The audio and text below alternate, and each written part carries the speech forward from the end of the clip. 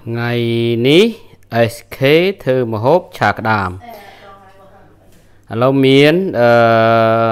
lobster 2តែវាតូចតូចទិញក្តាមមកបន្ថែមបន្លែមានម្នាស់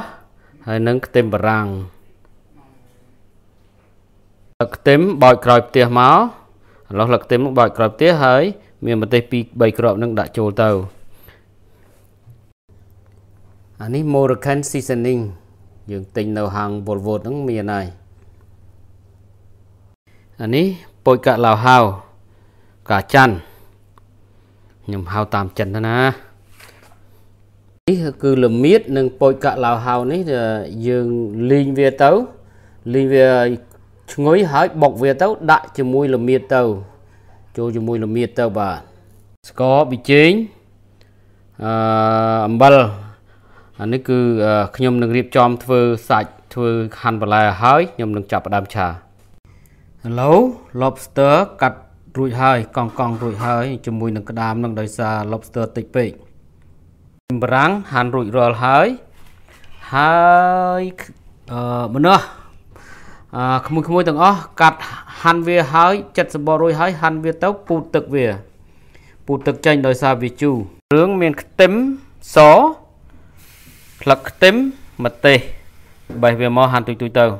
ហេគ្រឿងក្រូវមានតែប៉ុណ្្នឹងទេអឺនិយាយទៅដល់ចុះអាល្មៀតជាមួយនឹងកាច័ន្ទលីងកាច័ន្ទឲ្យឈ្ងុយហើយបុកវាទៅហើយ Moroccan ហើយនឹងស្ករប៊ីចេងអំបិលនឹងទៅអូខេអរគុណឥឡូវខ្លាញ់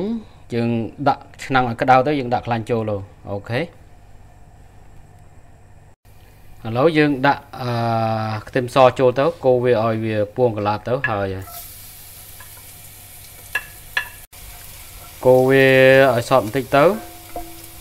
ហើយចាំយើងដាក់គ្រឿងផ្សេងទៀតអូខេឥឡូវយើងដាក់ម្ទេសហើយនឹងខ្ទឹមអាស្លឹកខ្ទឹមហ្នឹងអាឆឡោតហ្នឹងដាក់ចូលទៅតែកុំដាក់ឲ្យអស់ហើយម្ទេសយើងដាក់ទាំងអស់ហ្នឹងទៅ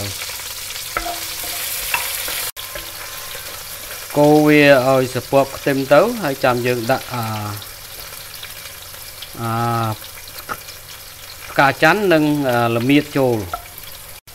ឥឡូវយើងដាក់អឺផ្កាច័ន្ទនិងល្មៀតចូលទៅកូរវាឲ្យឈ្ងុយទាំងអស់គ្នានឹងទៅយ៉ាងយើងដាក់ក្តាមចូលឥឡូវយើងកូរវាទៅយើងដាក់ទឹកត្រីចូលបន្តិចទៅតែយើងមិនដាក់ច្រើនទេដោយសារក្តាមវាប្រៃដែរយើងដាក់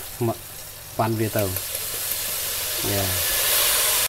ឥឡូវយើងដាក់ចូលក្តាមចូលហើយអូខេ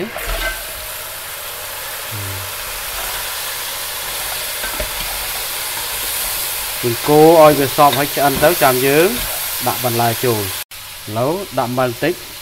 ហើយស្ករវិជែងបន្តិចទៅបាទប៉ណ្ណឹងរួចរាល់ហើយ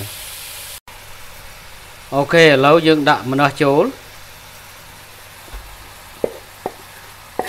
ហើយកូរឲ្យសពទៅអាអាបកងអាក្តាមហ្នឹងវាអា lobster ហ្នឹងវាឆ្អិនហើយយើងកូរឲ្យសពបន្តិចទៀតចាំយើងដាក់ខ្ទឹមបារាំងចូលឥឡូវម្នាស់ឥឡូវម្នាស់ហ្នឹងសពប់ហើយឥឡូវហ្នឹងក្មួយក្មួយធ្វើតាមឥឡូវដាក់ខ្ទឹមបារាំងចូលបាទហើយយើងកូរវាឲ្យសពទៅហើយក្មួយក្មួយទៅចាំកូរវាឲ្យសពហើយដល់ពេលហ្នឹងចាំដាក់អឺផ្លឹកខ្ទឹមបន្ថែមឥឡូវចុងក្រោយហ្នឹងយើងដាក់អា